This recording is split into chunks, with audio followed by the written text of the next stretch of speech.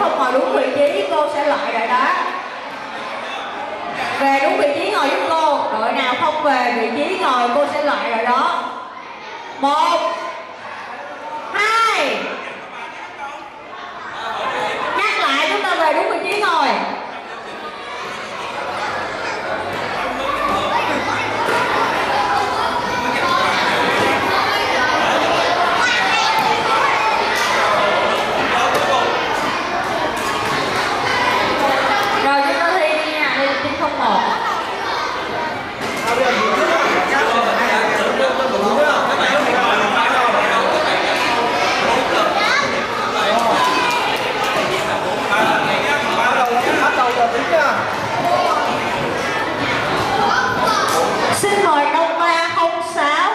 mời Đông 306 Đông 306